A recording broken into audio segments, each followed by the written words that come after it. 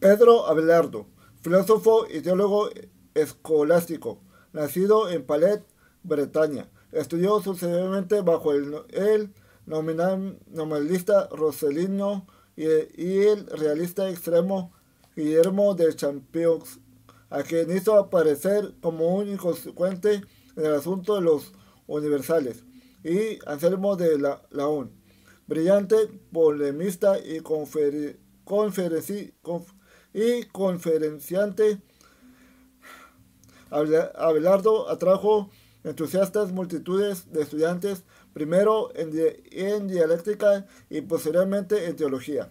Sin embargo, su arrogancia y su famosa relación amorosa con la bella y talentosa Eloísa casi arruinaron su carrera profesional.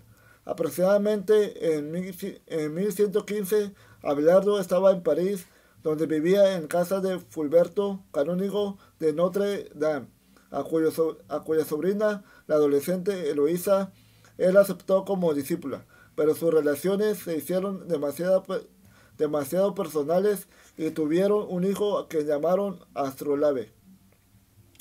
Para apaciguar a Fulberto, Abelardo se, se casó secretamente con Eloísa después del nacimiento del niño.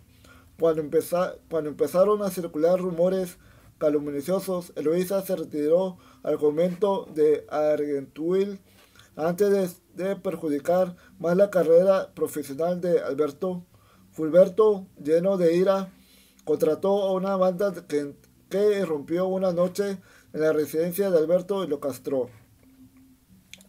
Después de esta humillación, Alberto ingresó en el monasterio de San Dioniso a edad de 40 años.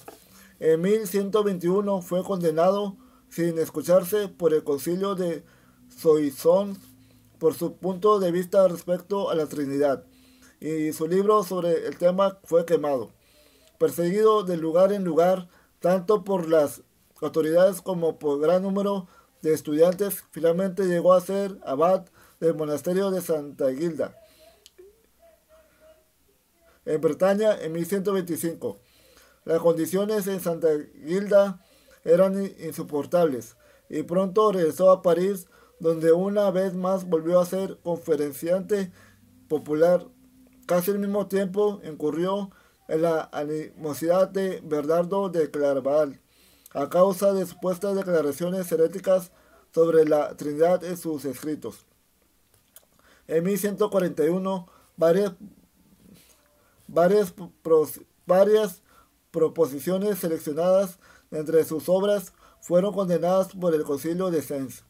En su viaje a Roma para apelar su condena, Abelardo se detuvo en, en Cluny, donde fue convencido por Pedro el Venerable de lo inútil de, su, de hacer más intenso para defenderse. Murió en el, en el priorato de Cluny. Dejó considerable número de obras acerca de la lógica y teología incluyendo su famosa Sig et Non, en la cual puso en juxtaposición las declaraciones contradictorias de las, escrituras y de los padres de la iglesia para obligar a los estudiantes a compatibilizarlas. Su autobiografía, historia de Calamitatum, cartas personales, cierta cantidad de poemas, sermones y cartas, su influencia sobrevivió en sus estudiantes, entre los cuales se contaron varios papas y cardenales, Juan de Salisbury y Otón de Freising.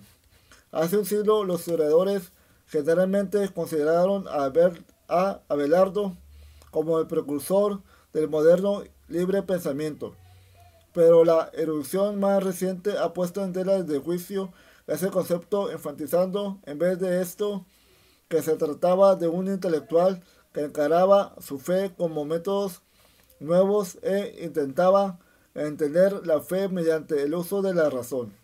Aunque es recordado mayormente por sus amores con Eloísa, su más grande contribución a la historia medieval cristiana fue ayudar a iniciar la tarea de reconciliar la fe con la razón.